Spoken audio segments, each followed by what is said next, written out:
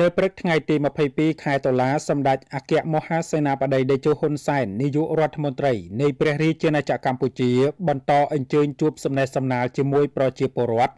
ប្រមាណ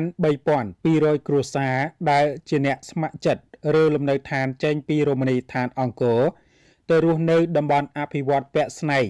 ស្ថិតនៅក្នុងឃុំពាក់ស្នែងស្រុកអង្គរធំខេត្តសៀមរាប តំបន់អភិវឌ្ឍពាក់ស្នែងជាកន្លែងថ្មីមួយទៀតបន្ទាប់ពីតំបន់អភិវឌ្ឍរុនតាឯកដែលរាជរដ្ឋាភិបាលរៀបចំបង្កើតជាភូមិឋាន និងបែងចែកដីធ្លីជូនប្រជាពលរដ្ឋស្ម័គ្រចិត្តឬចេញពីរមណីយដ្ឋានអង្គរនិងតំបន់គ្រប់គ្រងដោយអាជ្ញាធរជាតិអប្សរាតំបន់អភិវឌ្ឍពាក់ស្នែងមានចម្ងាយប្រមាណជាង20គីឡូម៉ែត្រពីតំបន់អង្គរ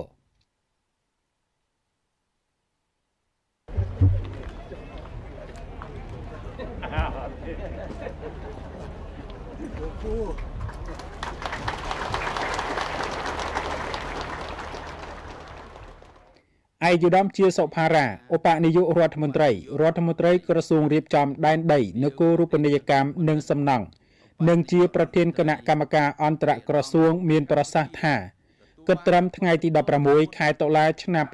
2022ប្រតិបត្តិការរក្សារមណីយដ្ឋានអង្គរជាសម្បត្តិមនុស្សជាតិលើពិភពលោកសម្រាប់បានការវាស់វែង និងស្រង់ទិន្នន័យក្បាលដី ដែលប្រជាពលរដ្ឋកាន់កាប់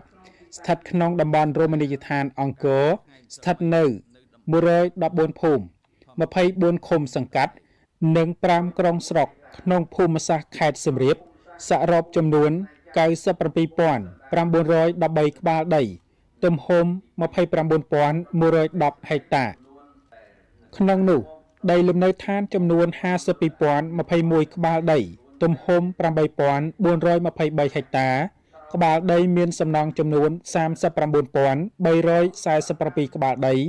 ទំហំ6383ហិកតា និងក្បាលដីគ្មានសំណង់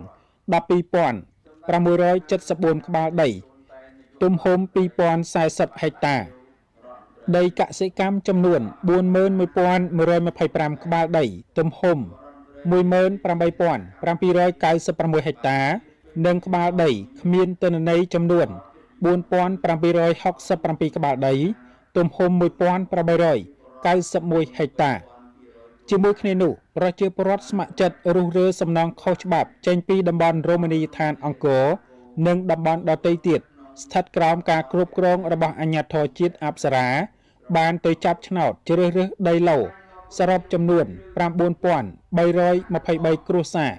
ក្នុងនោះ5823គ្រួសារទៅទីតាំងអភិវឌ្ឍរុនតាឯកនិង3200គ្រួសារទៅទីតាំងអភិវឌ្ឍពាក់ស្នែងសម្រាប់ប្រជាពលរដ្ឋទៅរស់នៅតំបន់អភិវឌ្ឍពាក់ស្នែងក៏ទទួលបានគោលនយោបាយឧបត្ថម្ភនានាដោយនឹងប្រជាពលរដ្ឋរស់នៅតំបន់អភិវឌ្ឍរុនតាឯកផងដែរ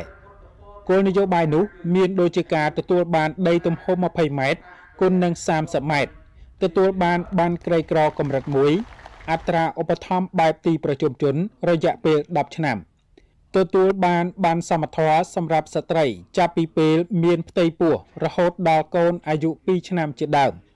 ផ្ដល់អំណោយជាស្បៀងអាហារសម្ភារៈប្រើប្រាស់និងថវិកា1លាន40ម៉ឺនរៀល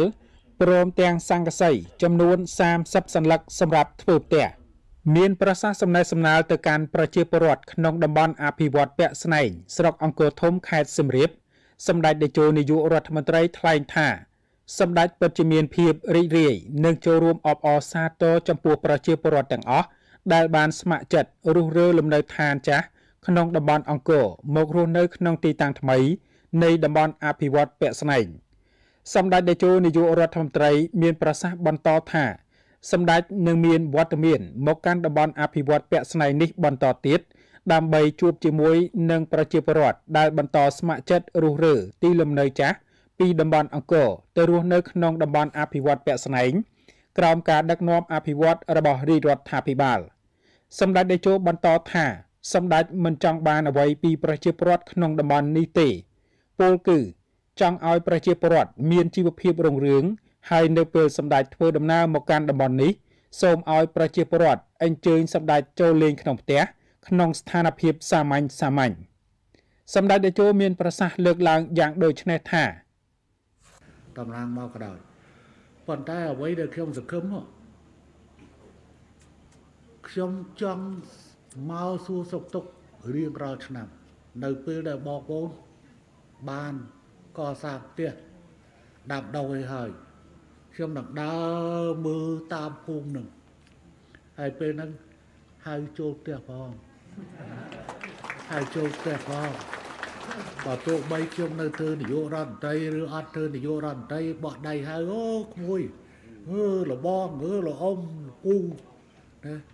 លោកពុកអីជាដើមអញ្ចឹងចូលលេងផ្ទះណាអើទៅអើតមើលបន្តិចទៅអ មានអំពើកាប់អំពើម្ដងសាកអំពើមើល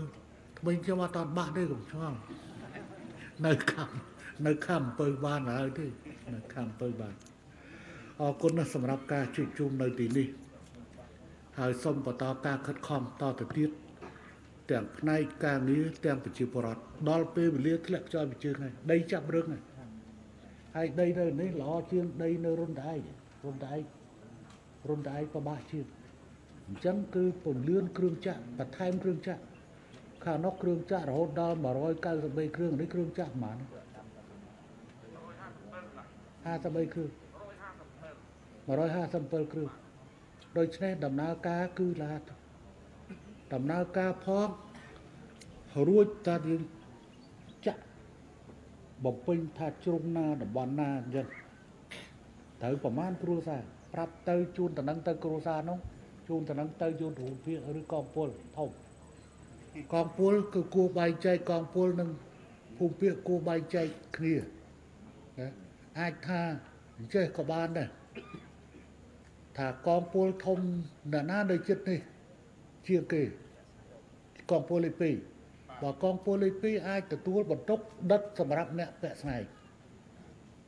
ហើយយកភូមិភាគទី4ទទួលបន្ទុកដឹកខាងរុនតែឯងទៅណាវាស្រួលអញ្ចឹងត្រូវចាំមុខមួយនេះមើលប្រធានកងពលទី2ដោះម៉ាស់ចេញទៅរោមុខមេនឹងត្រូវការដឹកជញ្ជូនទៅរោមុខគាត់ហើយចំពោះមួយទៀតគឺឲ្យអ្នកពាក់ស្នែងគឺអាអ្នករុនតែឯងចំណាំមុខ ហើយអ្នកធ្វើដីទៅចំណាំមុខកាយ4អគ្គស្នងការរងនគរបាលជាតិនេះទទួលបន្ទុកកាន់កាប់គេហៅថាវិស្វកម្មសម្ដេចតេជោសៀមរាបគឺធ្វើសកម្មភាពនៅនេះ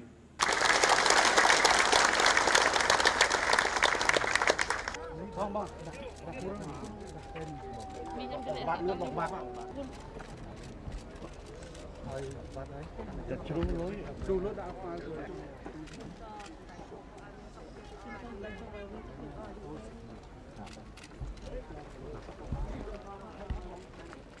បាទ